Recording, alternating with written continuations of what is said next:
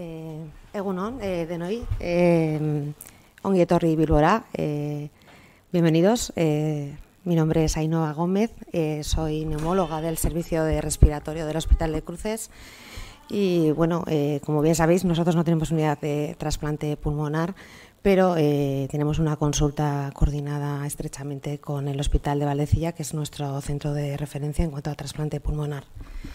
Ese es el motivo por el que estoy aquí moderando esta mesa, eh, así que seré la más novel de, todos los que estáis aquí y bueno, pues espero que sea una reunión productiva y yo creo que vamos a empezar si, si no hay más dilación. Eh, según me han dicho, las comunicaciones eh, son de 10 minutos, creo que os han dicho ocho de exposición y dos de preguntas y bueno, intentaremos ceñirnos porque como siempre en los congresos eh, el programa es muy, muy extenso y es mejor ir bien de hora, ¿vale? Así que me han dicho que la primera comunicación eh, no llega, que está en otra sala, así que vamos a empezar por David San Segundo, eh, que tengo aquí, que es del Hospital de Valdecilla, ¿no? Servicio de Inmunología, creo. Así que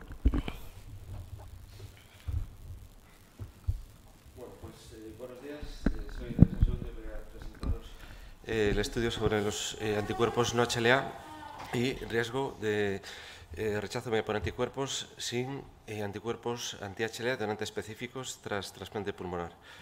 Bueno, eh, quiero aprovechar la ocasión para agradecer al todo al grupo de trasplante de, de trasplante pulmonar de Valdecilla, y en concreto a, a Víctor Mora, que me ha facilitado pues, todos los datos clínicos de, de todos estos pacientes.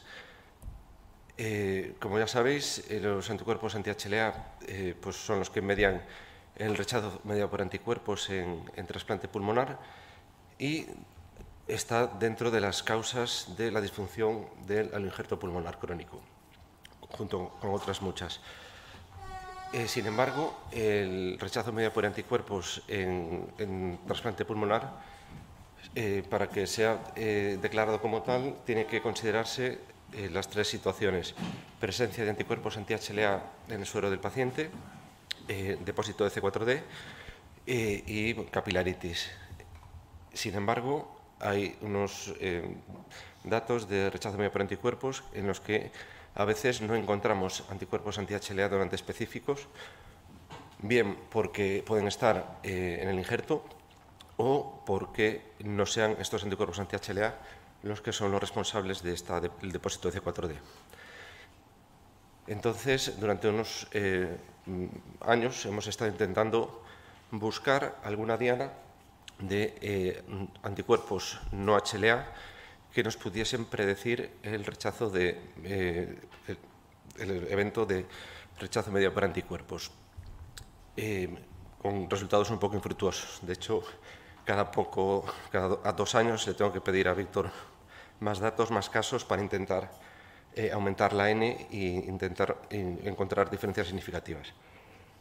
Y en noviembre del año pasado eh, salió un, un, preprint en los cuales cam cambian un poco el enfoque del análisis de estos eh, anticuerpos no HLA y lo que hacían en vez de ser un análisis específico, hacían un análisis cuantitativo.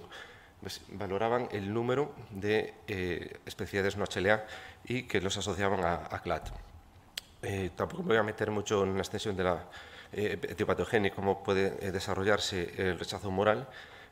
Y lo que sí que es eh, muy complicado es eh, discernir entre una reacción una respuesta o una respuesta autoinmune. ¿vale? Muchas veces lo que hay es un deterioro eh, del injerto mediado por anticuerpos anti-HLA específicos. Eso eh, genera que se eh, presenten autoantígenos, antígenos crípticos, y se induzca una respuesta autoinmune. Aunque hay otros fenómenos inflamatorios, eh, por eh, el daño de isquemia de perfusión que pueden generar un daño en el injerto y también inducir la, producción de anticuerpos frente a eh, antígenos no HLA. Eh, en concreto, la célula endotelial podría ser eh, pues un, un ejemplo de eh, donde podríamos encontrar eh, estas dianas eh, de no HLA, ¿vale? como pueden ser el perlecano, el LG3, que son fracciones de, células endoteliales, el receptor de células endoteliales, luego también Esos son todos sin, sin carácter a la respuesta. Los antimica que sí que tienen cierto grado de polimorfismo, entonces se pueden considerar como un tipo de, de respuesta. Y luego también otras dianas, ya cuando hay un, daño en el parénquima pulmonar, pues pueden ser la exposición de eh, antígenos como el colágeno a nivel celular, pues eh, de microtúbulos, de otros eh, factores nucleares que pueden ser dianas del sistema inmune y inducir una autorrespuesta. Entonces, eh, como os he comentado, nuestro primer abordaje fue eh, intentar identificar una especificidad no HLA que nos pudiese predecir el rechazo medio por anticuerpos en ausencia de anticuerpos anti-HLA. Para eso detectamos en toda la serie de, pacientes trasplantados pulmonares desde el 2012, es decir, alrededor de unos 500 eh, casos aproximadamente, es un 5% de casos en los cuales eh, había historia de rechazo medio por anticuerpos con sospecha eh, por eh, depósito de C4D y por capilaritis y en ausencia de deseas. Luego quisimos buscar un, grupo control también de pacientes trasplantados pulmonares que se, se, hubiesen realizado en el mismo tiempo que estos casos. Y era un poco para evitar el sesgo que podía ser porque en mitad de esta corte pues, se introdujo la terapia de inducción.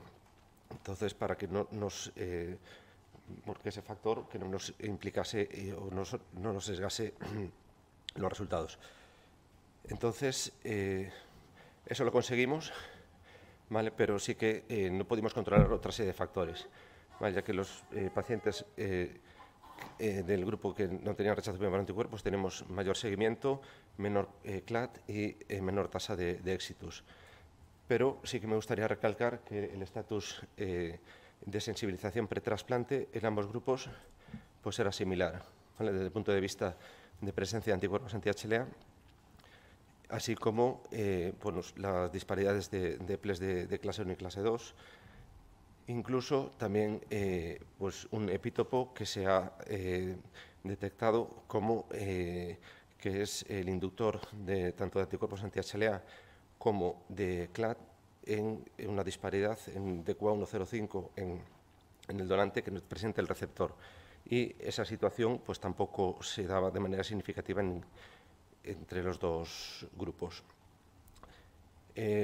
¿Cómo estudiamos los anticuerpos anti en no HLA, pues la tecnología es igual que los eh, anticuerpos anti-HLA, que está basada en una tecnología Luminex, que es un panel enorme, que son 39 eh, autoantígenos, y esto se ha diseñado pues, de manera comercial, un poco dirigido a que nos sirva este panel pues, para el contexto de trasplante renal, pulmonar, cardíaco. Entonces hay una mezcla muy grande de, de posibles autoantígenos, posibles dianas. Incluso hay algunas que están enfocadas más en temas de de investigación. Luego hay otros eh, autoantígenos que pueden ser eh, comunes a todos los, eh, los trasplantes de donor sólido, como son autoantígenos frente a células endoteliales y demás. Entonces, esto es un poco para haceros una idea del array de autoantígenos y la posibilidad que hay. cuando hicimos el análisis específico de anticuerpos no HLA, que era un poco nuestro, lo que hemos ido siguiendo con la zanahoria, buscando eh, una especificidad de no HLA, eh, vimos que en un 25-22% de los pacientes del grupo con rechazo por anticuerpos presentaban anticuerpos frente a la enolasa antes del trasplante, mientras que en el grupo que no rechazaban, pues no. Esto, sinceramente, no daba diferencias significativas ¿vale? por ajuste con el test de Fisher y entonces, pues eh, la verdad es que nos estábamos un poco pues, mm, como no creyéndonos el tema de los anticuerpos no HLA. Sin embargo, a raíz de la, publicación de, noviembre, dijimos, bueno, tenemos los datos, pues vamos a analizarlo de la misma manera que el otro grupo eh, había eh, analizado los eh, y había visto su implicación en CLAD.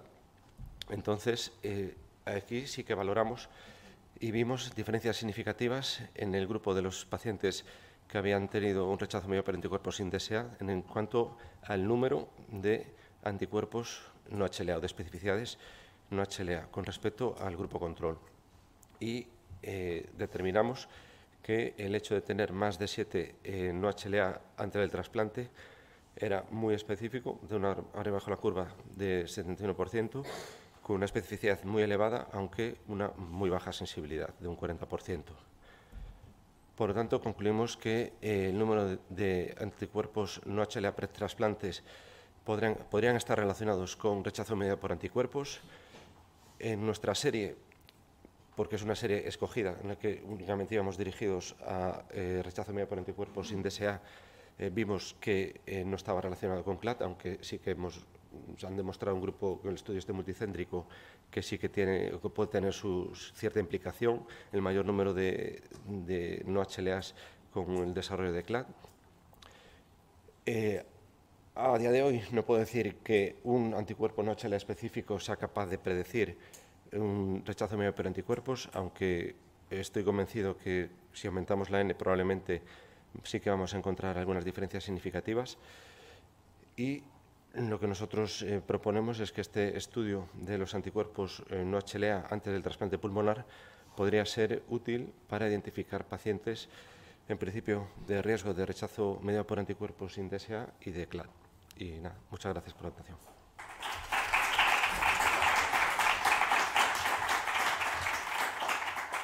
Bueno, ¿alguna, ¿alguna pregunta en la sala? Estamos un poco justos de tiempo, ¿eh? Nada. ¿Ninguna? Eh, bueno, felicitaros lo primero por, por esta comunicación, que a mí me parece muy, muy compleja para los ajenos al tema. Eh, una pregunta que no me queda claro. ¿Estos antígenos o estos anticuerpos anti, que no son HLA son del donante, son del receptor? Son del receptor. Son del receptor, mm, vale. ¿Y no se pueden eh, diagnosticar previamente al, al, trasplante? Sí, nosotros lo que proponemos es hacer un estudio antes del trasplante y valorar en este caso, ver eh, si el número de estas especificidades no HLA está por encima de un umbral, pues probablemente este paciente va a tener más riesgo de, de rechazo por anticuerpos sin, ¿Y podría modificar el tratamiento eh, previo? Sí, habría que, eh, habría que tratarlo quizás como un paciente sensibilizado con HLA que no fuesen donantes específicos. Vale, pues nada, es que ricasco. siguiente comunicación. Eh, seguimos el orden. Eduardo Catalinas, impacto del acortamiento telomérico, espera, telomérico en la evolución del post-trasplante de los receptores de trasplante pulmonar por enfermedad pulmonar intersticial difusa, eh, Universidad, eh, Unidad de Trasplante del 12 de octubre, ¿verdad? Muy bien, pues muchas gracias por la presentación y buenos días a todos. Bueno, vamos a hablar del impacto que tiene el acortamiento telomérico en los receptores por EPID en, nuestra, en nuestro centro, en nuestra experiencia. Para empezar, ¿qué son los telómeros? Pues los telómeros son secuencias repetitivas de nucleótidos que se encuentran al final de los cromosomas, cuyo fin es proteger el material genético realmente codificante durante las divisiones celulares. Sin embargo, pues hay factores como el propio envejecimiento, exposiciones o mutaciones en las vías específicas que regulan estas estructuras que pueden condicionar que un individuo tenga una longitud telomérica menor a lo que le correspondería por edad. Esto mantenido en el tiempo pues es un factor de riesgo para desarrollar diversas afectaciones a nivel sistémico, entre las que destacan pues, alteración hepática, citopenias o enfermedades hematológicas y sobre todo lo que nos interesa a nosotros, fibrosis pulmonar, que es una de las principales indicaciones del trasplante. Entrando un poco más en ello, específicamente se estima que en torno al 37% de los casos de fibrosis pulmonar familiar y el 25% de los esporádicos asocian algún tipo, algún grado de aportamiento telomérico. Sin embargo, el número de mutaciones, digamos, la prevalencia de las mutaciones en esos grupos es mucho más baja puede ser porque sean mecanismos multifactoriales o probablemente porque no conocemos todas las mutaciones asociadas. Pero lo realmente importante de esto es que los pacientes que tienen fibrosis pulmonar asociada a acortamiento telomérico presentan la enfermedad normalmente al diagnóstico en un estadio más grave, progresan más rápidamente y sobre todo se diagnostican a edad más temprana, lo que hace que muchos de ellos acaben siendo remitidos a unidades de trasplante pulmonar y finalmente siendo trasplantados, por lo que probablemente nosotros tenemos un pool de estos pacientes mucho más alto que lo que vería un neumólogo general. Pero realmente tener los telómeros cortos, dadas estas afectaciones que tiene, ¿tiene algún impacto en la evolución post-trasplante? Pues no está muy claro. La mayoría de estudios que hay o las series son casos retrospectivos, unicéntricos, con no demasiados casos. Un poco os he puesto un resumen de los últimos, una selección que yo he hecho y como veis, resultados muy dispares. Hay algunos describen que con una longitud inferior al percentil 10 aumenta el riesgo de disfunción primaria del injerto y disfunción crónica, otros aumenta la tasa de leucopenia y otros hablan incluso de que aumenta el riesgo de sufrir viremias CMV y eventos más graves por el mismo. Sin embargo, por ejemplo, en, el último estudio publicado, que es del último Congreso Internacional en una corte australiana, los pacientes con un, percentil inferior a 10 no encuentran diferencias en, el seguimiento post-trasplante con respecto a gente con telómeros normales. Entonces, el objetivo de nuestro estudio es esencialmente este, identificar si los pacientes con una longitud telomérica cortada que son trasplantados por EPID tienen mayor tasa de complicaciones que aquellos trasplantados por la misma causa con una longitud telomérica normal. Para ello, diseñamos un estudio de casos y controles retrospectivo en el que incluimos a todos los pacientes sometidos a trasplante pulmonar en nuestro centro por EPID de los años 2014 y 2022, a los que se realizó una prueba de longitud telomérica. La prueba se hace con un, tomando un, con un una muestra de la mucosa oral y sobre, sobre esas células se hace una PCR, entonces se obtiene una longitud telomérica que se puede medir y eso se compara con un banco que tienen a nivel poblacional y se estima pues, un percentil de correspondería a ese paciente por raza, sexo y edad con respecto a la población. Los pacientes con un percentil inferior a 10 los consideramos con una longitud telomérica cortada, o sea, alto riesgo serían los casos del estudio, ellos con un percentil superior serían los controles lo que hacemos es hacerles un seguimiento prospectivo, bueno, se les hizo, nosotros hacemos una revisión retrospectiva, haciendo una revisión a los seis meses y a los 12 meses post-trasplante, en la que se mide la tasa después de una serie de variables relacionadas con su evolución. La tasa de rechazos agudos, de infecciones eh, bacterianas, de viremias CBV, infecciones respiratorias, citopenias, principalmente toxicidades, enfermedad tromboembólica venosa, aparición de neoplasias, disfunción crónica del injerto y exitus. Para las variables, utilizamos el programa SPSS, un chico cuadrado para las dicotómicas y, un test no paramétrico para variables independientes para las ordinales y las cuantitativas. Estos son los puntos de corte que utilizamos para las variables analíticas. Y con respecto a los resultados, eh, reclutamos un total de 26 pacientes, 6 con longitud telomérica cortada y 20 con longitud telomérica normal. En cuanto a las características de la población, a nivel demográfico no hay diferencias en la edad, el sexo, el estatus de fumador, el tipo de trasplante que recibieron, si tuvieron disfunción primaria del injerto y si fue urgente o no. Tampoco presentan diferencias en los datos analíticos que vamos a analizar previos al trasplante, en ninguno de ellos ni en la historia de, neoplasia. Y tampoco se observan diferencias en el tratamiento inmunosupresor que, que tenían a lo largo del estudio si estaban o no en tratamiento con malganciclovir para la profilaxis del CMV, eso tenían tratamiento activo, y si precisaban o no factor de crecimiento de neutrófilos por neutropenias. Aunque no sale significativo, sí cabe destacar el, que hasta un tercio de los pacientes con longitud telomérica cortada están ya en biterapia en el sexto mes eh, post-trasplante. Estas son las diferencias al, el, al año post-trasplante, que no vuelve a haber diferencias. En cuanto a los resultados de las variables estudiadas, al sexto mes, eh, en esta pantalla no se aprecian que se aprecien diferencias significativas, si bien el grado de trombopenia es hasta un tercio de los pacientes con longitud telomérica cortada, aunque no llega a ser significativo por poco.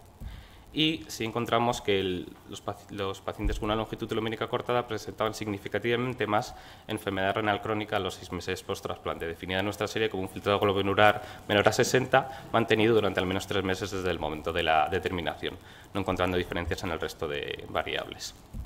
A los 12 meses no encontramos diferencias a las variables estudiadas, persistiendo otra vez el grado de trombopenia y tampoco vemos diferencias en, el resto de variables. Ahora se iguala un poco, pero yo probablemente por la ausencia de casos no sale significativo la enfermedad renal crónica. Por tanto, podemos concluir que en nuestra serie los receptores con una longitud telomérica cortada tienen una tasa significativamente mayor de enfermedad renal crónica en el seguimiento post-trasplante que aquellos con una longitud telomérica normal. Y en nuestra serie los receptores con una longitud telomérica cortada tienen una mayor tasa de trombopenia no siendo este valor estadísticamente significativo, pero sí clínicamente relevante y probablemente estará en relación con por qué esos pacientes con longitud telomérica cortada del sexto mes post-trasplante ya estaban en biterapia, que probablemente sea por la toxicidad. Y muchas gracias y quedo a su disposición para las preguntas.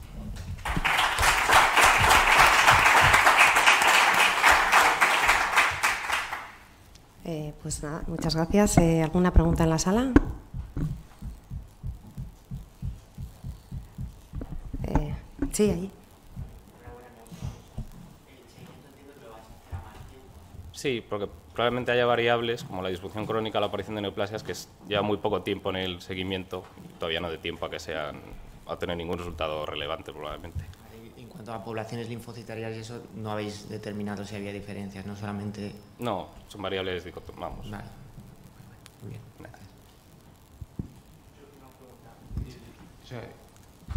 los pacientes que tenían el estudio del acortamiento telomérico, porque como lo has dicho retrospectivo, ¿por qué se les había solicitado que hiciera parte del estudio? Inicialmente eran pacientes seleccionados a los que se les hacía el estudio pues porque presentaban mucha toxicidad en el tratamiento o tenían una aparición precoz de neoplasias y luego ya posteriormente lo hemos empezado a hacer recientemente a todos los pacientes que se trasplantan por EPID, probablemente pues para tener un pool mayor de pacientes sobre el que, que analizar. Como consejo, si tenéis donantes locales, hacérselo también a los donantes y luego el día de mañana intentar buscar si el acortamiento telomérico del donante también condiciona los resultados de, algún estudio hecho con, con acortamiento telomérico en los donantes.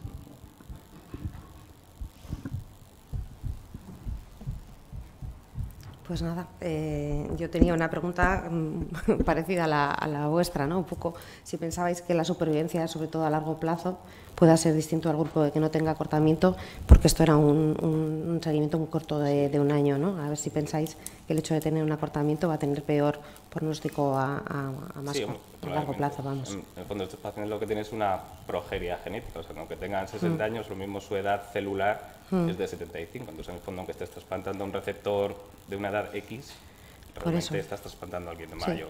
A mí me llamaba la atención que la edad es parecida en ambos grupos. Habría que pensar que quizás los que tengan acortamiento tuvieran un debut más precoz de la, de la EPID, ¿no? O de la fibrosis pulmonar, ¿no? En general, bueno, se asocia al que tienen debut más precoces y sobre todo son patrones atípicos, mm. pero hay veces que el, porque los genes de acortamiento telomérico tienen una penetrancia variable, entonces puede que tú tengas el gen y no lo expreses y dentro de la misma familia, incluso mm. gente con el, la misma genes tienen distinta expresión de, la enfermedad. Vale. Un poco la pregunta, no sé si en otros grupos de trasplante eh, se hace de, rutina el, el, frotis este del acortamiento o solo en casos seleccionados. No, no es de. No, yo recuerdo uno de los casos que os mandamos, que era una chica joven que tenía antecedente de la leucemia y una fibrosis muy brutal desde el diagnóstico, vamos a decir, y se le hizo y tenía un acortamiento telomérico. Pues una chica que estamos hablando de 35 años o así, por eso me llamaba la edad, la, que sean muy similares en ambos grupos, ¿no? que no hubiera diferencias. Pero bueno, nada, felicitaros y seguir trabajando en esa línea. Así que pasamos a la siguiente. Gracias.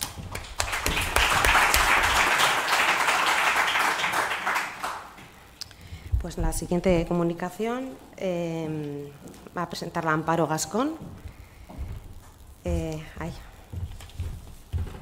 A ver, que ya me pierdo. Resultado del trasplante pulmonar con donación cardíaca en asistolia controlada. Bueno, buenos días a todos. Yo soy Mara Gascón Gascón.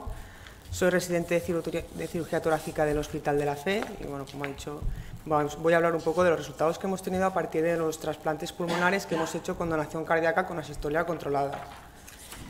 Este va a ser el índice, unas pequeñas pinceladas sobre la historia, eh, qué nos hemos preguntado, cuál es nuestra introducción, por qué nos hemos preguntado esto a partir de la literatura que hemos leído, cómo lo hemos hecho, eh, cuáles han sido nuestros resultados, cuáles han sido nuestros últimos datos y por último las conclusiones.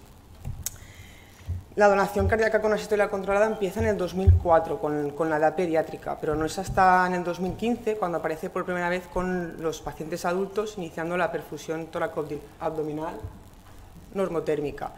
Eh, la primera donación cardíaca en, en España se realiza por primera vez en el 2020 y desde entonces se han hecho más de 40 en nueve centros diferentes. Y en la FE se ha hecho por primera vez en 2022, en el noviembre de 2022. Desde entonces eh, se llevan 15 donaciones en la asistolia cardíaca controlada, 12 eh, de ellas eh, de forma local y 3 de ellas extracomunitarias. Y que nos hemos preguntado nosotros, pues realmente si este tipo de donación puede afectar a nuestros resultados. Y para ello lo que vamos a hacer es analizamos el impacto en la funcionalidad de estos tipos de donantes. ¿Y por qué? Pues bueno, porque al final eh, con la perfusión normotérmica tóraco-abdominal nos están diciendo que hay un mayor riesgo de edema pulmonar, pero realmente esto se puede llegar a influenciar en, nuestro injerto. Pues bueno, leyendo un poco la literatura, que hay muy poquito, porque al final este tema es un tema en auge que estamos empezando, parece que los resultados eh, son bastante similares en los diferentes tipos de donantes. Sí que es verdad que puede aparecer un poco más de disfunción primaria del injerto grado 3, pero no llega a, influenciar realmente en la supervivencia. Entonces, nosotros lo que hemos hecho es una corte prospectiva de la serie de, trasplantes pulmonares desde, eh, desde el 2013 hasta septiembre de 2023. Tenemos una N total de 527 pacientes. La gran mayoría de ellos se hace un trasplante bipulmonar, casi un 16% tenemos un trasplante unipulmonar y los restantes pues, son trasplantes cardiopulmonares. Y dentro de, dentro de los 527 pacientes, eh, cinco se le hicieron donación, eh, o sea, cinco, cinco, órganos lo obtenimos a partir de donación cardíaca con asistolia controlada. Se nos ofrecieron dos más, pero se desestimaron por neumonía. Estos cinco, el 100% se le hizo un trasplante bipulmonar. Los diagnósticos, pues bueno, eh, los diagnósticos son los de, los, de siempre. Eh, al final tenemos dos grandes eh, grupos diagnósticos, que son el EPOC y la fibrosis pulmonar, y en estos cinco pacientes pues, teníamos dos pacientes diagnosticados de fibrosis pulmonar, un EPOC, un CLAD y una proteinosis alveolar. ¿Y cuáles son nuestros resultados? Pues bueno, en cuanto a las características de los donantes, no encontrábamos diferencias estadísticamente significativas ni en cuanto a, a las horas de intubación, tipo de donante, IMC o intercambio gaseoso. Sí que encontramos diferencias estadísticamente significativas en la edad. Al final, al final este tipo de donantes son, utilizan criterios de selección más estrictos y los pacientes con donantes con edad cardíaca tenían una edad media de 36, 35,6 y los otros, el grupo control tenía una media de 54. En cuanto a los receptores, tampoco encontrábamos eh, diferencias estadísticamente significativas, ni en cuanto al sexo ni en cuanto a la edad. En el procedimiento quirúrgico eh, teníamos diferencias significativas en cuanto al tiempo de isquemia, al final son donantes locales, pero sí que es verdad que a pesar de esto, si comparamos en, si comparamos en la, asistencia, la necesidad de asistencia circulatoria tampoco veíamos grandes diferencias. En los cuidados o complicaciones postquirúrgicas, pues bueno, tampoco eh, veíamos que teníamos mayor riesgo de eh, como postoperatorio ni mayor riesgo de reintervención y en la disfunción primaria del injerto pulmonar, pues los resultados son prácticamente similares. De los cinco pacientes que tenemos de edad cardíaca, el 20%, uno de ellos presentó una disfunción primaria de grado 3 y en los otros pacientes, pues prácticamente igual, casi el 20%. Un dato que nos llamó un poco la atención fue la aparición de que teníamos más rechazo a uno en estos pacientes, pero aún así eh, no veíamos que tenían mayor riesgo de infecciones ni bacterianas, ni hongos, ni vírica. En cuanto a la mortalidad intrahospitalaria, pues eh, también en el mismo, seguimos en, bueno, prácticamente eh, sin diferencias significativas, no, encontrábamos. Tenemos una mortalidad del 12% en los pacientes que no fueron donantes con asistolia cardíaca y del 0% en, estos, en los DAC cardíacos con una P no significativa. En la supervivencia al año, pues si vemos las gráficas, eh, los resultados son muy similares. tenemos una supervivencia al año de los pacientes con donación eh, cardíaca del 100% y los que no fueron donación cardíaca del 83% y tampoco encontramos diferencias significativas. Y en cuanto a la supervivencia libre de CLAD, pues lo mismo, en las gráficas vemos que los resultados son bastante similares, sí que es verdad que teníamos menor incidencia en los, uh, en los tipo 3 y en los DAC cardíacos. Y como últimos datos, pues desde el, desde el septiembre de 2013 hasta ahora hemos hecho dos, dos donaciones cardíacas con asistolia cardíaca, eh, dos donaciones cardíacas con asistolia controlada, uno de ellos en abril del 2024, que fue un EPOC, en el que no hemos visto disfunción primaria del injerto pulmonar, no hemos visto episodio de rechazo agudo que si lo analizásemos ahora a lo mejor podría influenciar en los datos que hemos obtenido anteriormente y tampoco hemos visto complicaciones quirúrgicas ni alteraciones de la anastomosis. El último que hicimos, que fue hace relativamente poco, pues tampoco hemos visto que haya hecho ninguna disfunción primaria de injerto pulmonar. El paciente pues está con una extubación precoz y evolucionando bien. Y las conclusiones, pues al final el trasplante pulmonar en estos pacientes pues eh, nos está dando buenos resultados. Aunque es verdad que hemos tenido eh, mayor tasa de rechazos agudos, pues nos ha visto influenciado en la supervivencia. No obstante, pues este tipo de donación está, estamos empezando, estamos en auge, estamos aún aprendiendo y hay que perfilar muchos, muchos, muchas partes, pero bueno, hay que continuar estudiando y ya está.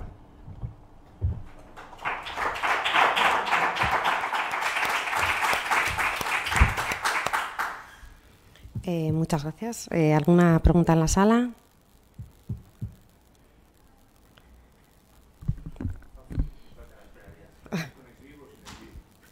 No, sin ex vivo. Nosotros no utilizamos ex vivo en el hospital, de momento. Claro.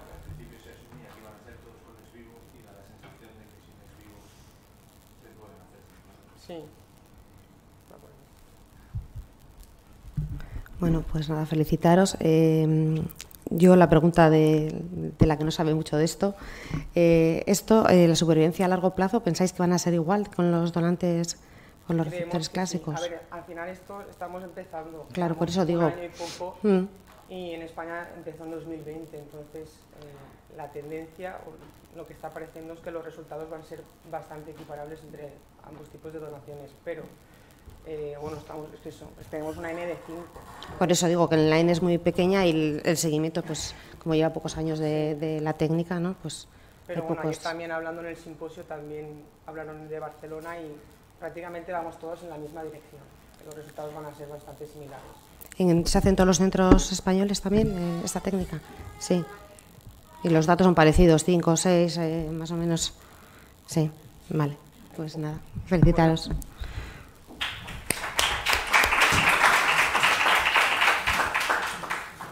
Eh, la siguiente comunicación, donación en asistolia controlada, análisis unicéntrico. Eh, creo que la presenta Sergio Monpean, ¿puede ser? Sí. Y también es de, ¿no? de la FE de Valencia, ¿no? Eso es. Vale. A ver, esto. Buenos días a todos, primero de todo. Espera, creo que tenemos problemas técnicos.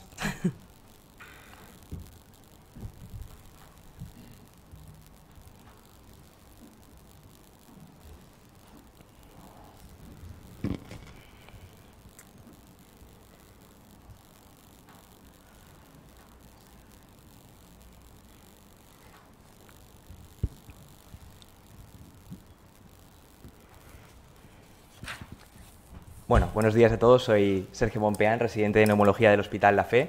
Y bueno, pues os presento nuestra comunicación que es de donación en asistolia en trasplante pulmonar, nuestra experiencia en nuestro centro. Una breve introducción en, la que, como ya sabemos, la donación en asistolia pues, apareció como una oportunidad para aumentar el pool eh, de, posibles donantes. Se realizó por primera vez en, el año 95 y desde entonces ha habido una importancia creciente en este tipo de, de donaciones, aunque actualmente solamente se realiza en 23 países de todo el mundo. Los datos de la ONT ya nos muestran que tenemos similares supervivencias tanto a los 3 años, 3 meses, al año y a los 5 años. Y a los 5 años ya estamos en torno al 60% de supervivencia en ambos tipos de donaciones. En este gráfico de la ONT vemos como que a nivel proporcional eh, cada vez estamos haciendo más donaciones en asistolias. Ya en los datos del 2020 son de un 28,4% y los últimos datos publicados de los últimos años ya en algún año hemos superado el 30% de donaciones en asistolia en trasplante pulmonar. Por lo tanto, nosotros queremos presentaros los datos que tenemos de nuestros receptores de trasplante pulmonar en donación en asistolia en nuestro centro y también comparar cuál es la mortalidad, la disfunción primaria del injerto y la disfunción crónica del injerto, comparándolo con otra cohorte de la que disponemos de pacientes con donación en muerte encefálica. Y bueno, para eso hemos hecho un análisis retrospectivo y descriptivo de estos pacientes entre enero del 16 y noviembre del 2023 y hemos seguido los criterios de la ISHLT para, para todas las definiciones. Se han realizado se han realizado 147 donaciones en asistolia, de los cuales la, mayor parte, el 92,5%, son controladas y un 7,5% no controladas. Y estos datos los hemos comparado con la otra cohorte de pacientes en muerte encefálica, que fueron 302 pacientes. Las características de los pacientes, principalmente varones, un 68%, con una media de edad de 56 años, el 74% habían sido fumadores, la mayor parte, un 90,5% trasplantes bipulmonares, y la causa que condicionó el trasplante, casi el 50%, fue por EPOC, seguido de la EPID y ya muy lejos la fibrosis quística con un 6,1%. Sobre el, desarrollo de la disfunción primaria del injerto, un 35% de los pacientes en donación en asistolia cumplieron criterios para, para disfunción primaria del injerto y si lo dividimos por, por, grados, la mayor parte cumplió criterios para un grado 3, un 46%. En el caso de la muerte encefálica, los, los porcentajes son exactamente los mismos y no vimos diferencias estadísticamente significativas. Sobre la disfunción crónica del injerto, un 17% cumplió criterios para disfunción crónica del injerto y sí que hemos visto que hay un 10% más de pacientes que lo cumplen en el grupo de donación en la sistolia no controlada, pero los resultados no fueron estadísticamente significativos. Sobre el tipo de, disfunción crónica, la mayor parte fue tipo GOS, un 72%, el RAS un 16% y un patrón mixto en un 12%. Y por los grados, el más frecuente fue el grado 2 con un 44% y después el grado 1 en un 32%. También nos preguntamos que, de manera global eh, cuáles eran las patologías que desarrollaban disfunción crónica del injerto con, mayor probabilidad. Y sí que vimos que a los 5 años los pacientes con bronquiectasias eran los que más la habían desarrollado. Y en el caso contrario, la fibrosis quística son los que menos la desarrollan tanto al año como a los 5 años. Y esos resultados no fueron estadísticamente significativos.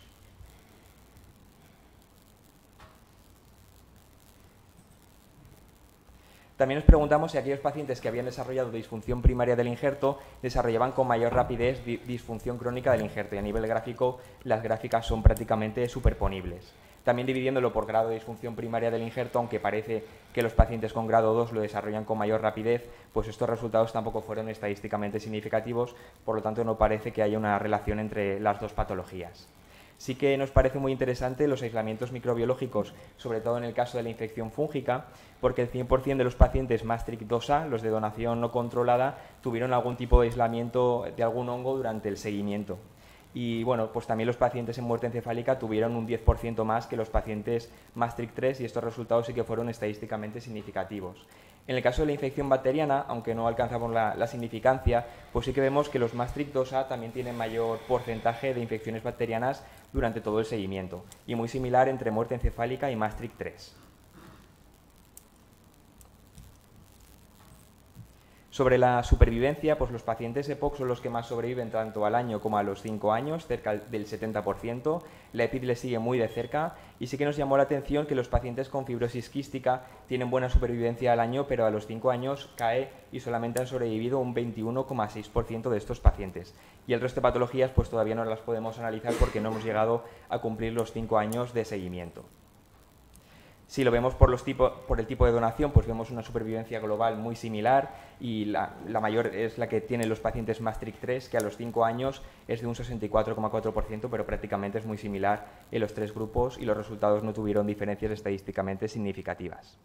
Sobre la causa de fallecimiento de estos pacientes, principalmente fueron eh, por infecciones en un 41,7%, después por patología cardiovascular en un 25% y ya queda en una tercera posición la disfunción crónica del injerto en un 13,89%. Y nuestras conclusiones son que hay una similar mortalidad y tasa de disfunción primaria del injerto entre las diferentes modalidades de, de donación, que no hay una asociación entre la disfunción primaria del injerto y la disfunción crónica del injerto, que la donación en muerte encefálica y los Maastricht 2A tienen más infecciones fúngicas y también parece que más infecciones bacterianas, sobre todo los Maastricht 2A, que los pacientes EPOC son los que más sobrevida presentan en nuestra cohorte y que la principal causa de muerte en estos pacientes son las infecciones y la patología cardiovascular. Muchas gracias.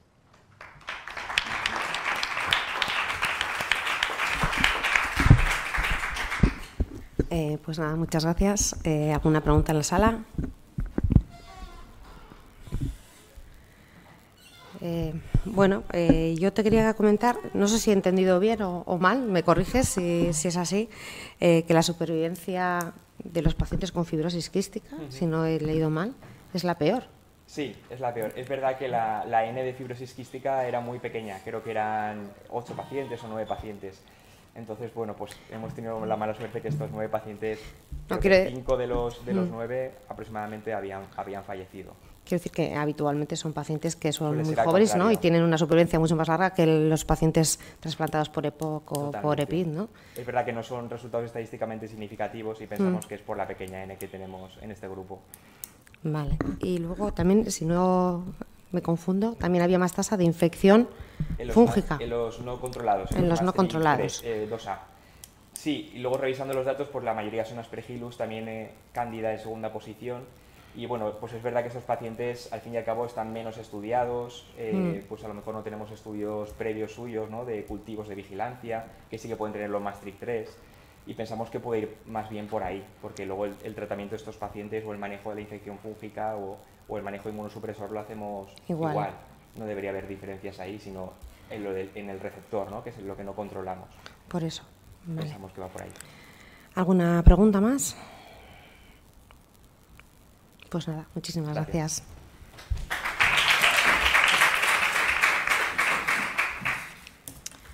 Bueno, pues seguimos el orden. Miguel, ¿no? Digo que no. Miguel Jiménez nos presenta infección por virus respiratorio sincitial y metaneumovirus en pacientes con trasplante de pulmón. Bueno, lo dicho, buenos días a todos. Eh, vamos a hablar de infecciones, que sabemos que los pacientes trasplantados pues, tienen una mayor prevalencia de infecciones en general. ¿Y qué pasa con las infecciones respiratorias? Bueno, pues como vemos en esta corte, que es una corte suiza, que hacían un seguimiento y comparaban la evolución de los pacientes trasplantados pulmonares con el resto de trasplantados de órgano sólido, vemos cómo durante el seguimiento, que hice una mediana de, en torno a cuatro años, los pacientes trasplantados pulmonares tienen una mayor incidencia de infecciones respiratorias, probablemente entre muchos factores por la inmunosupresión que es mayor respecto a otros órganos. ¿Y qué producen las infecciones respiratorias en estos pacientes? Mm, bueno, voy contándolo. Entonces, las infecciones respiratorias en el momento agudo pueden ser desde pacientes que son asintomáticos hasta infecciones, una clínica catarral como tal, o incluso están relacionados con disfunción de un rechazo agudo. Entonces, ¿qué puede producir una infección respiratoria, por tanto? Una caída del FEB1, una insuficiencia respiratoria en nuestro paciente, una sobreinfección bacteriana, ¿vale? Y también, como hemos comentado, pues un daño histológico irreversible del pulmón, como casos con eh, AFOB, es decir, neumonía organizada con fibrinosis aguda. Y a largo plazo también es cierto que las infecciones respiratorias se han relacionado con un mayor eh, eh, grado de disfunción crónica del injerto fundamentalmente en pacientes que, como vemos aquí, cuando se comparaba los pacientes que tenían infección del tracto respiratorio inferior tenían una mayor prevalencia de esta disfunción crónica del injerto. Como sabemos, es la principal causa de mortalidad en los pacientes con trasplante de pulmón. ¿Y qué virus respiratorios pueden producir eh, las infecciones respiratorias? Bueno, pues muchos de ellos ya los, los, conocemos todos, el, coronavirus, la gripe, etcétera, etcétera, y su tratamiento está más estandarizado. Sin embargo, hay unos de la familia Paramyxoviridae, que incluye el eh, virus respiratorio sincitial y el metanemovirus, el cual, pues como todos sabéis, estamos un poco a ciegas todavía no sabemos exactamente qué pacientes tenemos que tratar con ribavirina, qué pacientes no, y cómo manejamos estos pacientes. Eh, en cuanto a los síntomas que hemos comentado, efectivamente pues hay algunos casos que son asintomáticos, como vemos en esta corte del Valdebrón, que en pacientes asintomáticos hacían un cribado con una PCR de virus respiratorios, pero también otros que sí que producen síntomas en estos pacientes. Y lo que comentábamos, bueno, pues tenemos eh, muy eh, claro que pacientes con gripe hay que poner levoseltamivir, en pacientes con coronavirus un antiviral y ¿qué ponemos a los pacientes que tienen una infección por virus respiratorio sincitial o metanemovirus? Bueno, pues la sociedad americana nos recomienda un poco de todo. Como vemos ahí en rosa, bueno, pues podemos eh, probar la ribavirina, que puede ser oral, puede ser nebulizada, antibióticos, orticoides, inmunoglobulinas, es decir, un conjunto de cosas, pero no está muy estandarizado. Realmente la evidencia que tenemos en cuanto a la ribavirina es que eh, la, evidencia científica es escasa y de hecho pues mucha es evidencia de revisiones y estudios de pequeñas eh, poblaciones. Eh, además, la calidad científica de estos estudios es baja y muchos pues, son estudios retrospectivos, sin controles y el pulmón realmente tiene una baja eh, representación en todos estos estudios, como os intento mostrar en la próxima eh, diapositiva, que no va. Vale, entonces, ahí, eso es. Eh, incluso la forma de administración también cambia en función de todos estos estudios. Algunos lo hacen inhalado, otros lo hacen oral. Y sí que es cierto que, bueno, pues sí que se ha relacionado la ribavirina con efectos secundarios como la hemólisis o, y, en algunos casos se tiene que incluso interrumpir por estos motivos. El objetivo de nuestro estudio básicamente era saber qué hacemos con nuestros pacientes con este tipo de infecciones y analizar la evolución de los mismos en cuanto a función pulmonar, rechazo o disfunción crónica del injerto. Para ello eh, realizamos un estudio prospectivo en el que bueno, pues vimos los pacientes que tenían una infección respiratoria por estos virus con síntomas o bien se hacía un cribado por el contexto de la pandemia COVID, pues para ingresar en estos pacientes se le hacía un exudado de virus respiratorios. Entonces, en nuestro centro no tenemos protocolizado el uso sistemático de ribavirina, por lo que hacemos el tratamiento, pues como comentábamos, aparte del soporte, pues individualizábamos en función de los síntomas de nuestros pacientes, antibióticos, esteroides, etcétera, etcétera. Y lo que hemos hecho es un eh, seguimiento eh, clínico y funcional a, los, a las dos semanas, que un poco estimábamos que esa era la función respiratoria coincidiendo con la infección, a los tres meses y al año. ¿Qué pacientes tenían infección por estos virus? Bueno, incluimos un total de 17 pacientes, 10 de ellos eran mujeres y la gran mayoría pues, eran trasplantes bipulmonares, 15 de ellos. Y 4 se encontraban en el momento de la infección en disfunción crónica del injerto. En cuanto a las etiologías, lo que hemos ido comentando, pues el 50% de nuestra serie era una infección, eh, o sea, una patología intersticial, la causa del trasplante, y luego en un cuarto de ellos era una por EPOC y un cuarto de ellos por la hipertensión arterial pulmonar, dadas las características de nuestro centro. Eh, la infección se produjo a una mediana de cuatro años desde el momento del trasplante y prácticamente todos ellos fueron diagnosticados mediante exudado nasofaringe y solo uno de ellos mediante lavado broncoalveolar. Y tres cuartos de estos pacientes eh, tenían una infección por virus respiratorio sincitial. En cuanto a los síntomas que tenía nuestro paciente, pues un tercio de ellos eran clínicamente asintomáticos y luego otro tercio clínica catarral, es decir, de tracto respiratorio superior, y otro tercio de ellos eh, de tracto respiratorio inferior. Como veis, en cuanto al tratamiento, bueno, pues dependía, eh, antibioterapia generalmente sí que se ponía de forma empírica para cubrir esa sobreinfección bacteriana que hemos comentado previamente, esteroides recibieron tres pacientes, e precisaron ingreso hospitalario seis, ECMO un paciente, y lo que sí que es llamativo que durante el episodio agudo no falleció ningún paciente por este motivo. Cuando realizamos el seguimiento de la función pulmonar, como comentábamos, bueno, pues cuando comparamos la función pulmonar a los tres meses de seguimiento y eh, con los tres meses previos, no había diferencias estadísticamente significativas y ningún paciente detectamos que realizara un rechazo agudo o disfunción crónica del injerto. Por lo tanto, con todo esto, bueno, por lo que hemos comentado, que realmente sí que tenemos evidencia de que la infección por virus respiratorio sincitial y metanemovirus, lo, lo, que está claro es que las medidas de prevención son lo más efectivas, incluso ahora pues ya se recomienda la, la vacuna del virus respiratorio sincitial que está recientemente comercializada, aparte del lavado de manos. Pero ¿qué hacemos con la ribavirina?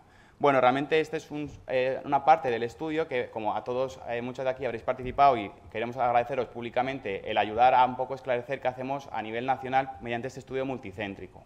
Estudio multicéntrico que no hemos podido presentar oficialmente en el Congreso porque hemos recibido los datos un pelín más tarde, pero que para el próximo prometemos tener unos resultados, los resultados ya en condiciones. ¿vale? Entonces, eso, lo primero agradecer eh, conjuntamente. ¿Y qué es lo que hacemos en España? Bueno, pues vemos que algunos centros sí que lo utilizan de forma más sistemática que otros y el objetivo de este estudio realmente es añadir el brazo del tratamiento sintomático que comentamos en nuestro hospital, pues el tratamiento de los pacientes que, de los centros que se utilizan la ribavirina de forma más sistemática. Aparte, pues bueno, pues el antibiótico, los esteroides que sí que se utilizan también de forma protocolizada y el seguimiento se realizó igual. Entonces, ¿qué es lo que tenemos ahora? Un poco así para, si queréis luego algún detalle adicional, pues lo podemos comentar, pero realmente, bueno, pues en cuanto a la aportación de los diferentes centros que tenemos hasta ahora, que estamos todavía recogiendo datos, pues sí que vemos que hay pues unos centros sí que lo utilizan de forma sistemática y otros no, y sobre todo lo que queremos comparar es si la disfunción crónica del injerto es más frecuente en unos centros, o sea, en función del tratamiento con ribavirina. Como conclusiones, los virus respiratorios son una realidad en nuestros pacientes con trasplante pulmonar y el tratamiento realmente debería ser universal y precoz, pero todavía no sabemos posicionar la ribavirina en este tipo de pacientes. Eh, en nuestra cohorte de pacientes que no utilizamos la ribavirina no objetivamos una caída significativa de la función pulmonar ni, rechazo agudo en los seis primeros meses de, seguimiento y no existen datos concluyentes que sepamos hasta ahora acerca del uso de ribavirina en virus respiratorio sincitial en pacientes trasplantados, pero sí que su uso sí que es aceptado en las guías de, eh, de práctica clínica habitual. Muchas gracias y estoy a disposición para preguntas.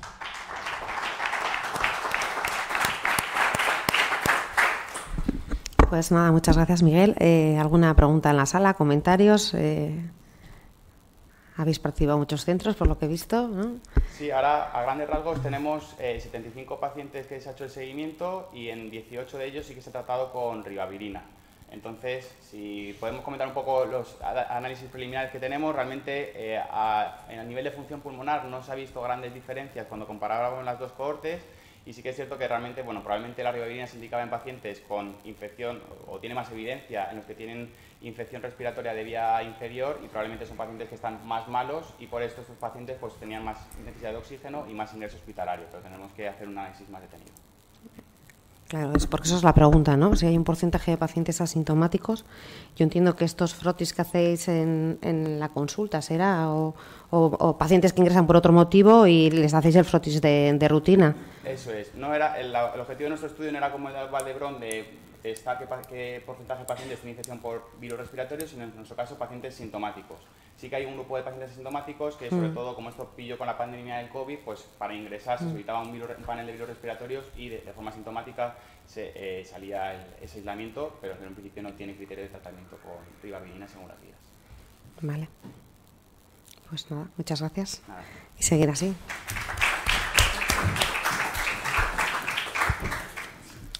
Pues ahora sí, ¿no? Creo que me toca a Cristian. Eh, citoquinas proinflamatorias en el lavado broncal velar como método diagnóstico. Es del Hospital Puerta de Hierro, en Madrid. Y nada, adelante. Bueno, buenos días. Em, como sabemos, el, rechazo celular agudo es una de las complicaciones más frecuentes en los receptores de trasplante pulmonar y el estándar de referencia para su diagnóstico es la biopsia transbronquial, eh, pero como sabemos que su realización nunca está exenta de, riesgo. el lavado bronquial alveolar podría ser una alternativa un poco menos invasiva y con un poco menor riesgo que podría traducir en ese microambiente eh, inflamatorio del, del, rechazo, del rechazo agudo. Eh, en la muestra de lavado broncoalveolar se podría realizar la determinación de citoquinas, que son proteínas secretadas por el sistema inmunológico, que van a desempeñar un papel crucial en la regulación de la respuesta inmunológica y en la, inflamación pulmonar. El recuento de estas citoquinas se podría, o sea, al, analizarlas en el lavado broncoalveolar, podría ser un, un, reflejo de la presencia histológica de, de rechazo agudo. Y y nosotros lo que hicimos fue analizar la utilidad eh, de estas eh, citoquinas proinflamatorias en el lavado bronquial alveolar en los pacientes con, con diagnóstico de, rechazo agudo. Fue un estudio retrospectivo donde obtuvimos 108 muestras de 74 pacientes entre el 2014 y diciembre del 2020. Eh, el diagnóstico de rechazo agudo se hizo a través de la anatomía patológica y la determinación de de citoquinas proinflamatorias realizó el lavado a través de la técnica de, de ELISA. Como vemos en cuanto a los datos demográficos, no se observó ninguna diferencia significativa en la característica de los pacientes que tenían o no tenían eh, rechazo celular agudo. Eh, al igual que en toda la serie, el, rechazo más prevalente fue el, el, el A2 en un 62% de los, de los pacientes. Y en cuanto a todas las eh, citoquinas analizadas, la interleuquina 17 fue la que pudimos observar eh, eh, diferencias significativas en cuanto a rechazo celular agudo y no, y no rechazo. Bueno, esta, pero esta es la, la, curva ROC y bueno, podríamos concluir eso, que los, los, niveles elevados de interleuquina 17 nos podían orientar para el diagnóstico de, de rechazo celular agudo en los pacientes con con trasplante pulmonar. Muchas gracias.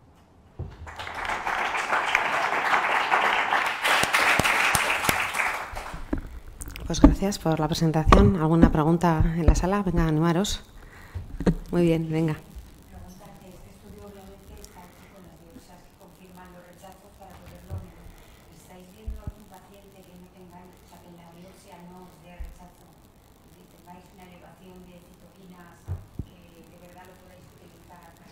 O sea, todavía no, o sea, no, no, todavía no. Todavía no lo estamos haciendo así como de forma tan sistemática, o sea, es un trabajo que, de Silvia, que se lo está preparando para la tesis y todavía lo tenemos ahí un poco en pañales.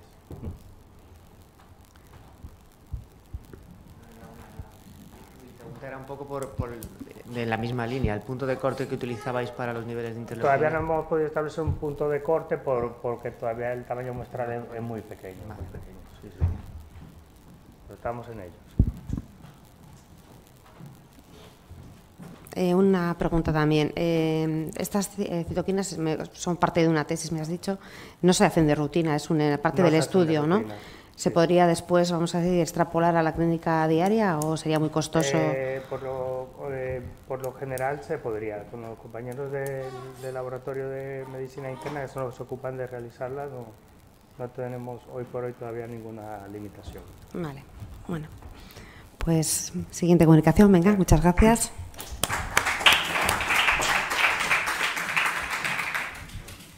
Dime. Ah, vale, vale. Bueno, me dicen que cuando preguntéis esperéis un poquito a que os den el micro, que, que hay que grabarlo y tiene sido problemas, ¿vale?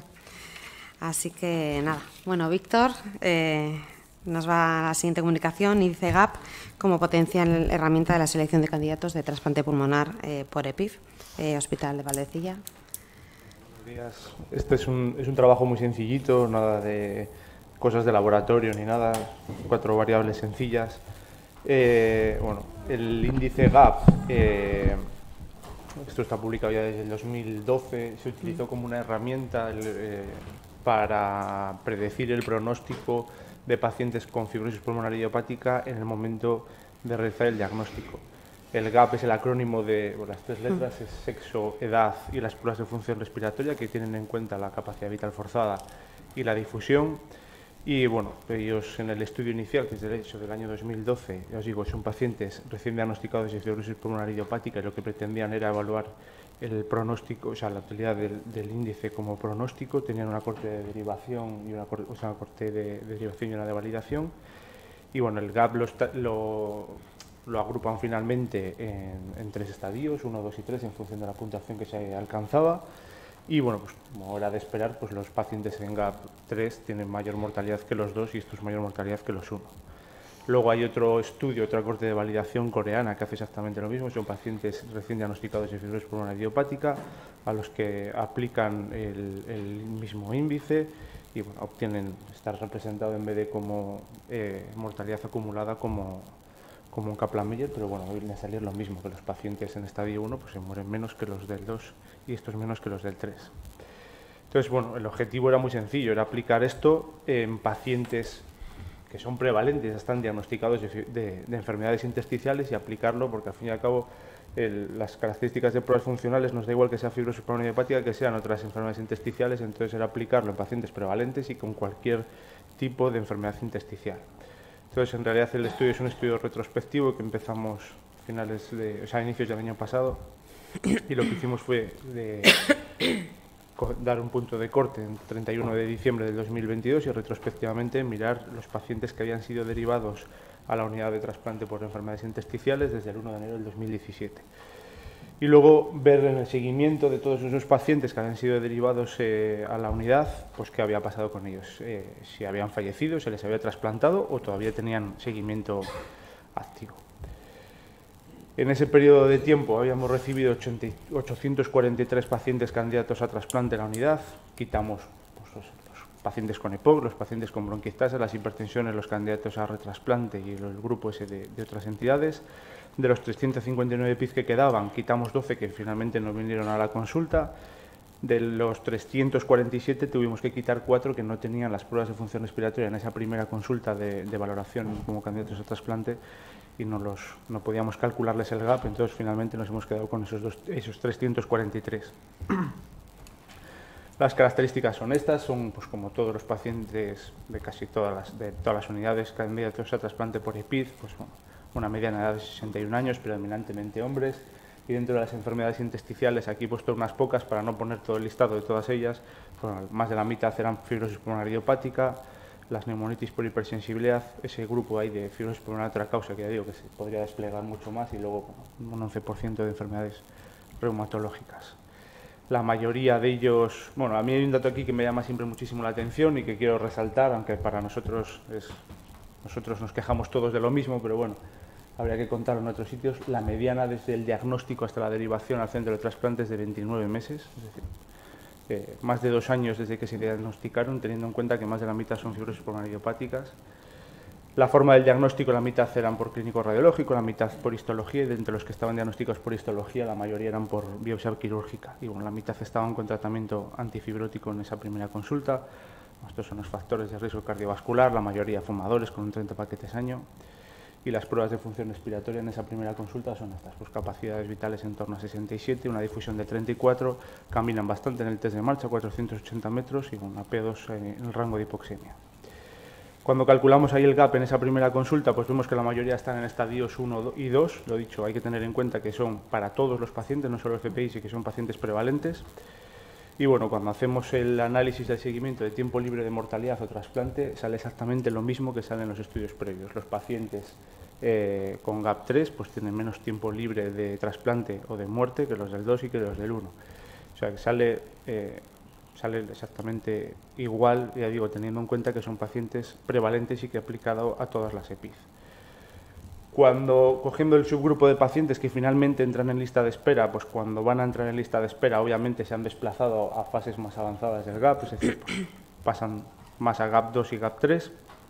Y bueno, aquí está representado con este diagrama Sankey, que es eso, es el flujo de los pacientes de, de, la clasificación del GAP en la primera consulta a cuando entran en lista de espera, como era de esperar, pues prácticamente todos saltan a, a estadios más avanzados. Es curioso que hay algunos pacientes que van a estadios más leves, eh, pero en realidad esto es porque si en la primera consulta no se les puede hacer la difusión, el no poder hacer la difusión puntúa mucho, si en el momento de hacer la inclusión en lista de espera ya tenemos cifras de difusión, puede ser que el gap eh, reduzca. El no poder hacer la difusión es, dentro de la difusión es lo que más puntúa, entonces ese es el motivo por el que van a estadios más leves. Esto no es para nosotros, es para convencer a todavía quienes dudan de la utilidad del trasplante. Los pacientes que se trasplantan por EPIZ obviamente sobreviven más que los que no se trasplantan.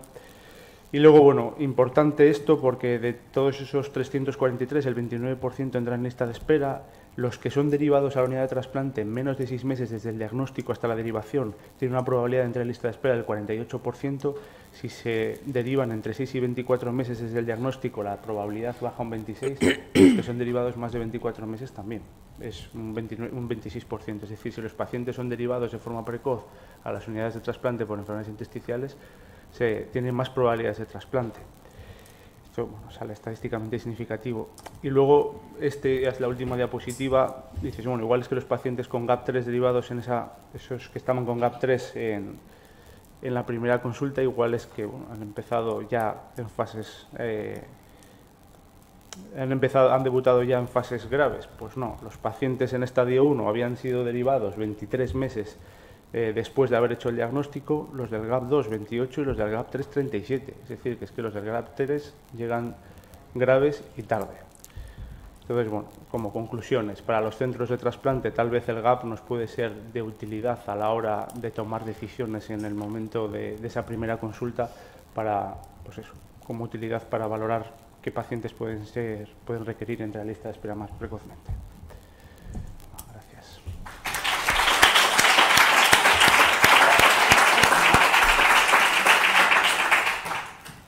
Eh, ¿Alguna pregunta en la sala? Allí, ¿no? Espera, que te llevan el micro. Espera, espera, espera. el micro.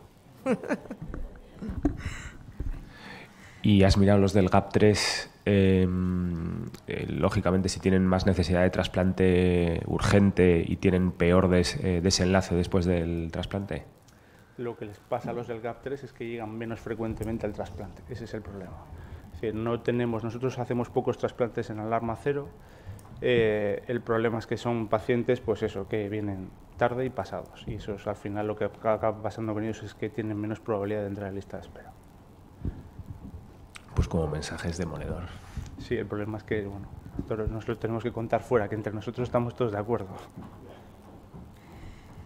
Bueno, yo como parte de esos que os mandan los pacientes, eh, mía culpa, eh, yo prometo que transmitiré este mensaje. Yo siempre doy mucho la guerra a mis compañeras de intersticiales porque a mí me los pasa, vamos a decir, desde las consultas de POC, de intersticiales, de fibrosis quística.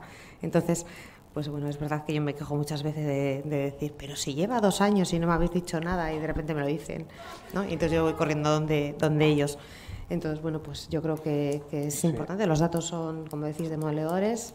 Y no sé si la diferencia entre EPIF, o sea, otras EPIF y la fibrosis pulmonar idiopática, quiero decir, eh, hace que este índice GAP tenga más validez en la fibrosis o es igual de válido para todas las intersticiales? Esto, esos, aquí estaban metidos entre todas y luego hay mm. hecho eh, análisis en dos grupos, solo las fibrosis pulmonar idiopáticas sale exactamente lo mismo y si hacemos el análisis con el resto de PIF quitando las fibrosis pulmonar idiopáticas sale lo mismo. Es es que al fin y al cabo el, índice es sexo, edad y, pruebas de función respiratoria, las pruebas de mm. función respiratoria al fin y al cabo en la sepsis se acaba comportando igual. Sí. Entonces. Vale, pues nada, Víctor, muchas gracias.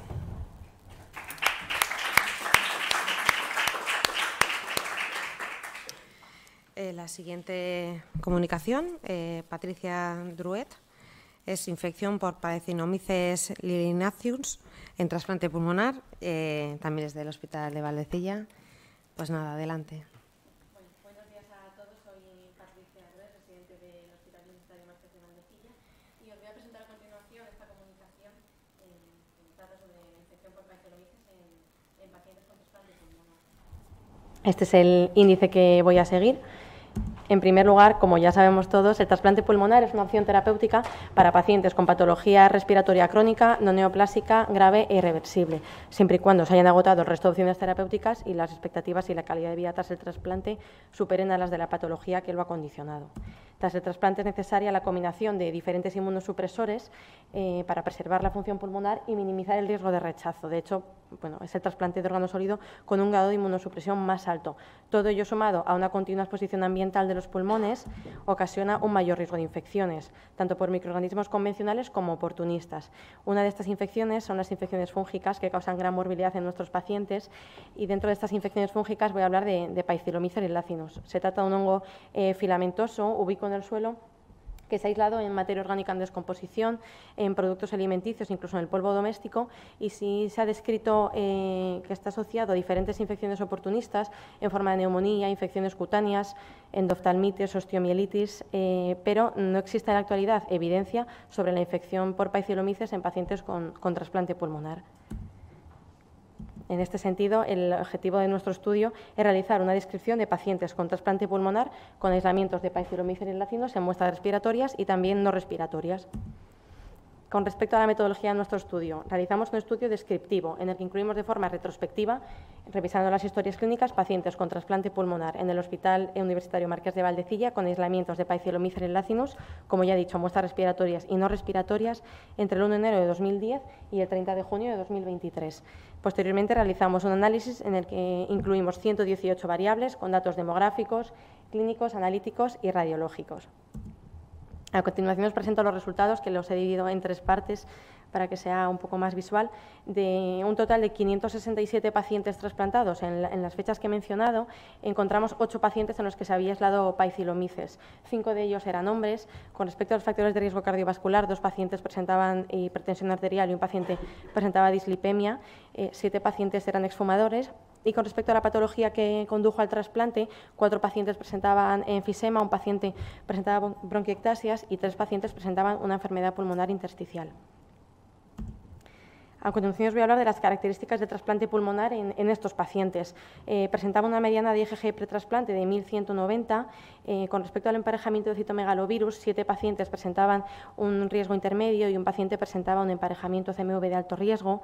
De los ocho trasplantes, siete fueron bipulmonares y solo un trasplante fue unipulmonar el tiempo de isquemia en, estos pacientes, eh, tuvimos una mediana de 270 minutos en el primer pulmón y 425 en el segundo, y tres pacientes de los ocho presentaron disfunción primaria del injerto.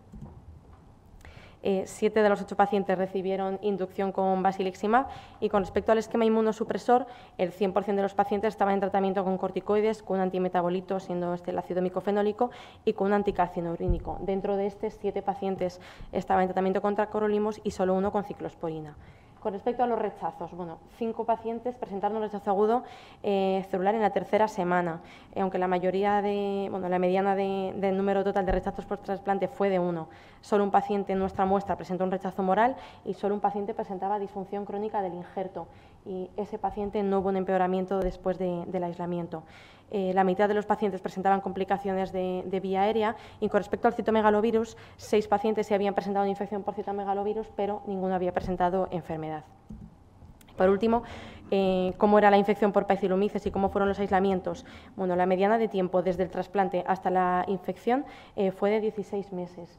En las muestras, como ya he dicho, eh, la mayoría sí que fueron respiratorias, cuatro fueron broncoaspirado y dos un lavado broncoalveolar, y dos muestras fueron no respiratorias, que fueron eh, infecciones cutáneas, fueron aislamientos en muestras cutáneas. la mayoría de pacientes presentaba un único aislamiento. La IgG más cercana a este aislamiento fue de 642, pues sí que inferior a la que he mencionado previamente. Y, bueno, como sí que he dicho antes, ningún ningún paciente, bueno, el paciente que presentaba disfunción crónica del, del injerto no presentó agravamiento y sí que siete de los ocho pacientes estaban en ese momento en tratamiento con un antifúngico nebulizado. Con respecto a la clínica y las pruebas complementarias, aunque sí que la clínica era un poco más difícil de, determinar, porque además eh, pues tenían eh, complicaciones de vía aérea, cuatro pacientes eh, presentaron tos, tres pacientes presentaron disnea y en los escáneres que se hicieron, dos pacientes presentaban alteraciones en forma de vidrio deslustrado y un paciente en forma de consolidación. El FEP1 previo al aislamiento eh, fue de 1430, no hubo mucha diferencia con el último FEP1 registrado de, la última consulta. tres pacientes sí que necesitaron un ingreso hospitalario eh, a raíz del aislamiento y para recibir el, tratamiento. Cinco pacientes eh, recibieron tratamiento con boriconazol y un paciente con itraconazol, de un total de los ocho pacientes.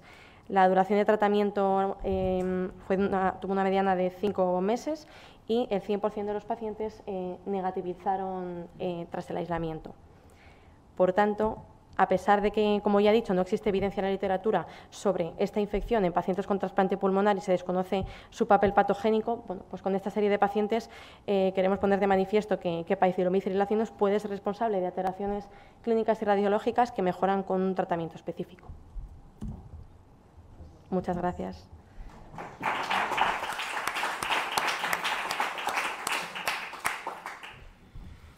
Pues nada, muchas gracias. Eh, ¿Alguna pregunta en la sala?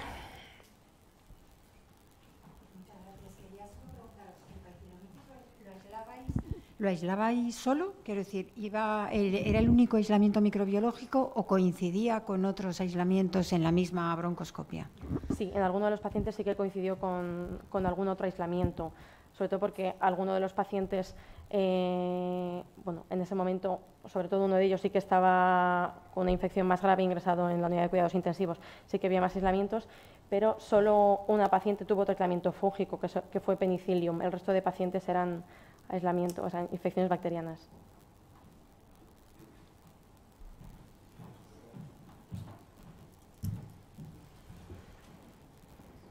Hola, nada, una pregunta. Eh, ¿Todos los pacientes, incluso los que han tenido más duración de tratamiento, solo ha sido monoterapia con azol? ¿No habéis tenido que asociar terbinafina ni...? No, efectivamente todos fueron en, monoterapia, sí. Fueron, vamos, la mayoría con boriconazol, solo un paciente con itraconazol, que ese paciente eh, fue uno de los casos de infecciones cutáneas. Y es verdad que a lo mejor hoy en día lo habríamos tratado con isabuconazol, pero en ese momento, que fue ya hace ya años, se trató con boriconazol. ¿Y los que eran infecciones cutáneas, desbridamiento quirúrgico o herida quirúrgica, habéis tenido que hacer algo? No se hicieron, no. Uno de ellos era una úlcera, en ese fue uno de los pacientes que, bueno, uno que no se trató, y el otro paciente sí, era un absceso, pero no hizo falta desbridamiento, fue mejorando la lesión. ¿Alguna pregunta más? Pues nada, gracias. Gracias.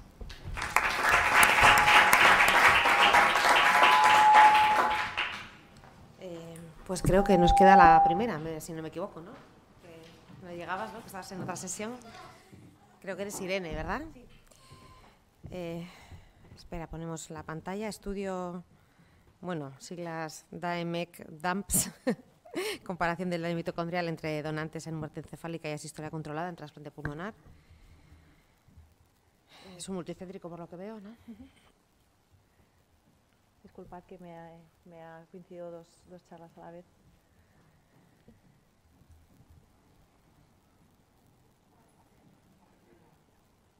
La primera es.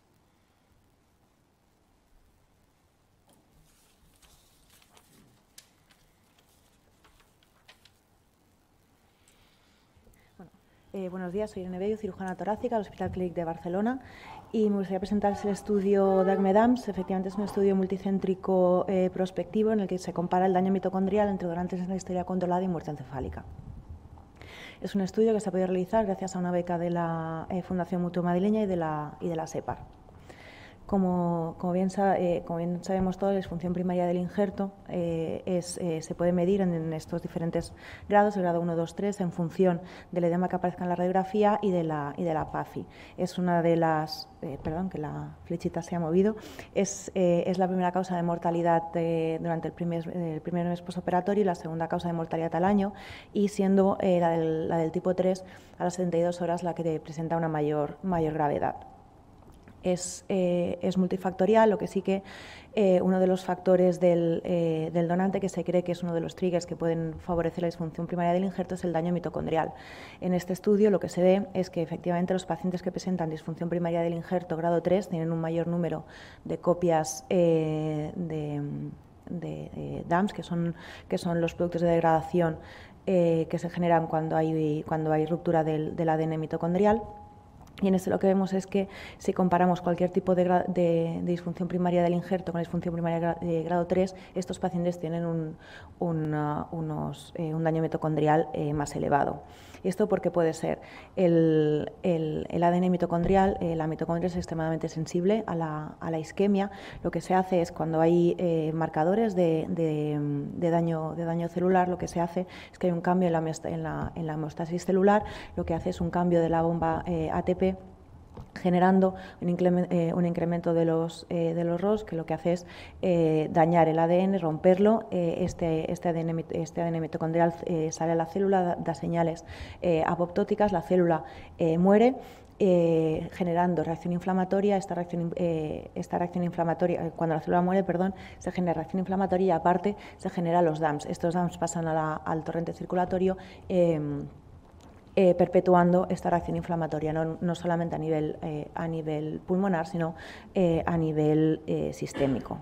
Entonces, en la, disfunción, en, la, en la sistolia controlada ya hemos visto que, efectivamente, bueno, por, por, estudios previos ya hemos visto que es, que, es factible, que la, que la reacción inflamatoria es incluso menor que las, que las muertes encefálicas, pero hay una cosa que hasta ahora no, no habíamos valorado, que es el tiempo de isquemia caliente, qué daño puede hacer a nivel sistémico en ah, eh, eh, por, el daño mitocondrial. Entonces, eh, en este estudio multicéntrico prospectivo lo que se hizo fue recogieron 80 pacientes, 40 muertes encefálicas y 40 historias controladas, que, se, que se, hizo el match entre una y otra en función, del, en función de las características del receptor, para ver luego los, los resultados posoperatorios. Y lo que se hizo es, eh, cuando el paciente llegaba a quirófano, se tomaba, cuando el donante o el, o el, el potencial donante llegaba a quirófano, se tomaba una sangre, se tomaba una muestra sanguínea eh, periférica antes de la perfusión, se tomaba una muestra sanguínea directamente de la arteria pulmonar y en el, y en el receptor lo que se hacía es, cuando antes de empezar el implante, del implante, se tomaba una muestra de sangre periférica, justo después de la reperfusión del órgano se tomaba otra y a las 24, 48, 72 horas se tomaba nuevamente muestras, eh, muestras sangre, sanguíneas. Se, se, centrifugaban a 1600 Gs y se mantenían congeladas en el hospital eh, colaborador y posteriormente se llevaban al, al, al, Hospital Valdebrón, donde allí se hizo el análisis eh, del daño eh, mitocondrial. En esta, en esta corte, en los donantes, las únicas diferencias significativas que se vieron es, el uso de corticoides, de, drogas vasoactivas y de causa de la muerte, pero bueno, aquí ya viene intrínseco con el tipo de donante que, que es. En la siguiente diapositiva, cuando quiera pasarse, eh, veréis que no hay diferencias. Ahora, no hay diferencias significativas en los, en los, en los receptores, en los tiempos de isquemia, en el, en el uso de, soportes circulatorios, tanto durante, el, durante, la, durante la cirugía así como, como después, de, después de ella. Y en los resultados vimos que no hay diferencias estadísticamente significativas en, la disfunción primaria del injerto, así como en los diferentes niveles en la mortalidad de los 30 y los 90 días. Pero si miramos en, en, ah, en la concentración de DAMS a nivel periférico vemos que efectivamente tampoco hay diferencias estadísticamente significativas en el, tanto ni en el donante ni en el receptor, así como la diferencia que había entre el E0 y el, E, 1 e con esto lo que pretendíamos es ver si el proceso de muerte eh, generaba un incremento mayor de, los DAMS eh, entre, entre la sistolia y, y la muerte encefálica, viendo que efectivamente tampoco. Así que lo que podemos eh, concluir es que el proceso de muerte, así como la isquemia caliente, no incrementa los marcadores de daño mitocondrial en sangre periférica y que no, se ha observado un incremento de la incidencia y disfunción primaria del injerto ni la mortalidad a los 30 y los 90 días en los receptores de, injertos procedentes de la historia controlada, si bien es una muestra muy pequeña que no fue eh, eh, calculada para, esto. Realmente me gustaría agradecer a los diferentes servicios que quisieron colaborar en el estudio y a la ONT por su, por su colaboración. Muchas gracias.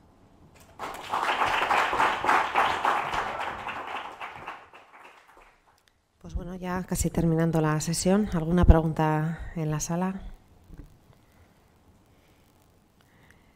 Eh, pues nada, yo comentaros, eh, los, vamos, los resultados que habéis obtenido, ¿era lo que pensabais de, inicio o pensabais que iban a ser peores los, los resultados? Era un poco lo que, lo que esperábamos y lo que nos y que los, nos gustaba mm. eh, encontrar. sí que es, por ejemplo, que en, un estudio que publican en el 2020-2021 eh, el grupo de Toronto sí que se vio que la transcriptómica a nivel, a nivel pulmonar, en la sistolia controlada sí que había un incremento de marcadores de daño mitocondrial. Y esto lo que nos hacía temer era que luego encontráramos esto mismo se reflejara en sangre periférica. La verdad es que cuando vimos que efectivamente que no, que había solamente daño mitocondrial, pero o sea, en, a nivel pulmonar, pero a nivel periférico no afectaba, la verdad es que es un poco lo que, lo que esperábamos. Vale, pues ¿alguna otra pregunta? Pues yo creo que vamos a ir dando por finalizada la sesión. Gracias a todos por estar aquí y bueno, pues espero que disfrutéis de esta larga jornada de congreso y si os dejan dar un paseíto por Bilbao, pues estupendo que parece que el tiempo acompaña. Así que nada, muchas gracias.